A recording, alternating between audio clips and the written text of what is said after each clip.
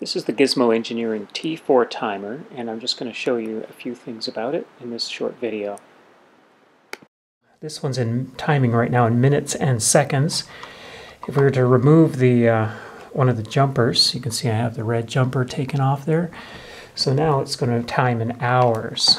So instead of that being five seconds, this is five minutes. So now what we'll do is press the start button, and uh, there it goes down from five minutes. So we'll cancel this. Okay, and reset it. Uh, so if we had a time of, let's say, one uh, couple, uh, an hour and five minutes, it would count a bit differently. You notice there's those dots chasing across the bottom uh, because nothing's moving. That lets you know that it's timing. Now I should mention too that this illuminated button is not standard. Uh, oops, to cancel it, we want to hold it down for two seconds. Now it's canceled and now it's reset. Now, here's our uh, the timer instructions that come with it, and uh, the early warning is what, what I want to demonstrate. So we're going to remove some jumpers. What we'll do is we'll um, hold down all three buttons. That's the way you do it.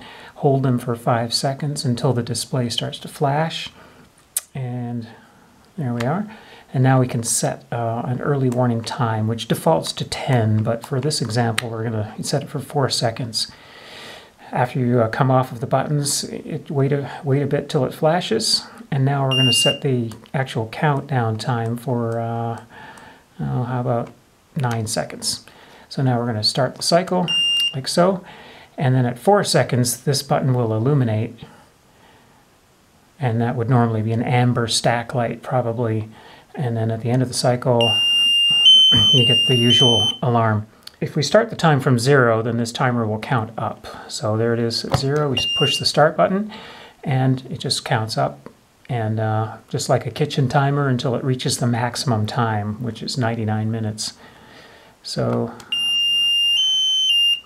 and uh, so uh, there's another mode I'd like to show you, and that is the, uh, let's see, there's, um, we've looked at the mode one, which is a manual stop, and you can cancel it. If you don't want the operator to cancel it, then you just take off uh, the jumper B there, and then they cannot cancel it. The mechanical trigger, uh, that's really for uh, line power devices, which might use a proximity sensor like this to sense a rack on a plating line for the battery powered unit, we're not going to really pay attention, worry about that. Uh, the pausing mode, let's try that. Let's look at that. So we have jumper B and C will come off of the pins. So that's done like this. B C come off. And so now let's set a time of uh, one minute. So now we start our countdown and uh, counts down like you'd expect. But now the, the operator has the ability to pause it by pushing the button. Whoops, I, it's just a quick push and it pauses there at 53 seconds.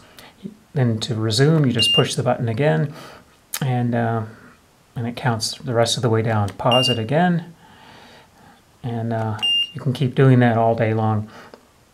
So I'm going to cancel this cycle by holding it down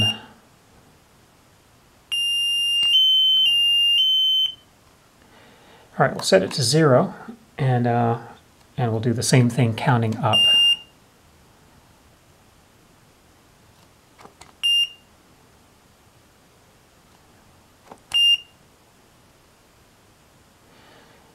And uh, we'll cancel it by holding the button down for two seconds, which is kind of a universal uh, behavior for all of the modes.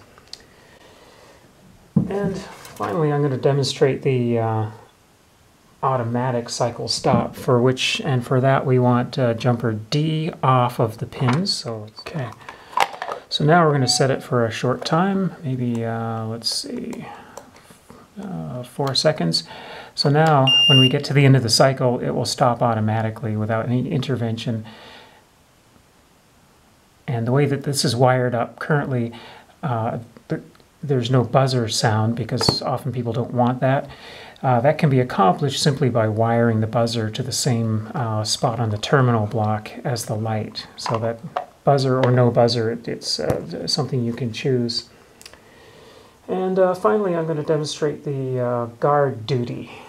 So we have it set up for a guard duty, and what that is, it means that the, a guard has to check in at this station every, in this case, 10 seconds, otherwise an alarm will go off. So if we start it like so, it starts to count down, and uh, it, the guard must check in, and when they do, we push the button and it resets to the set time.